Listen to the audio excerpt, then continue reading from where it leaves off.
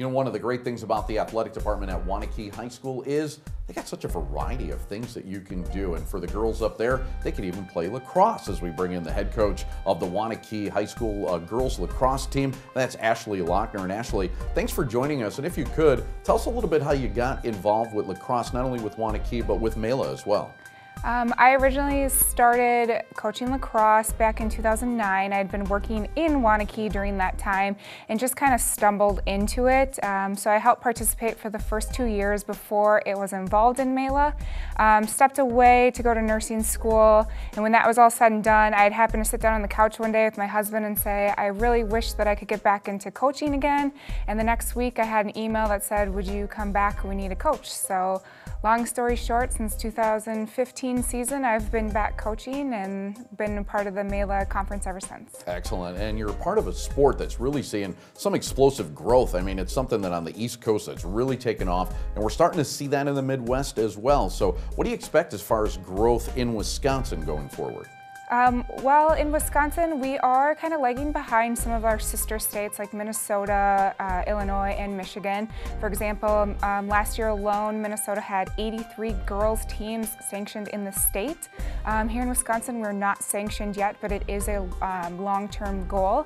We had 25 teams in the state last year for girls alone, um, and this year for Mela, we're expecting about two to three more teams to come in at the youth and middle school level, and we have one more team coming in at the high school varsity level um, with DeForest advancing into a JV and varsity program. Oh wow, so I mean that that's still pretty good growth and it seems like it's getting more and more organized. So uh, are there expectations I guess for players or can they expect to play beyond high school? Oh, for sure. That's actually one of my biggest pushing points about being a varsity coach um, is helping those girls get to the places that they want to go. Um, in prepping for this interview, I did do a little bit of research looking at NCAA websites and then our LaxPower, which keeps track of all my players' stats as they move forward. And right now, best estimates are one in every 27 girls that play at the high school level does have the chance to play at the D1 level. Wow. Um, so with 15 players on a team, likely 20 to 25 on a bench, um, there is substantial opportunity for these girls to keep moving forward and playing at that next level. All right, so for students that are interested in finding out more about getting started in lacrosse, how would they do that, Ashley? Um, so they can go to madlax.org. That is the Mela Association website, which is our conference here in the Madison area.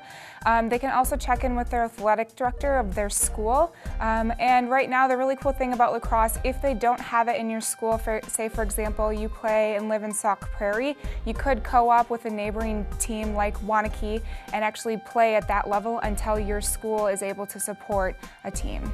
Good stuff. Ashley Lochner, thanks for joining us here in the Sports News. Thank you.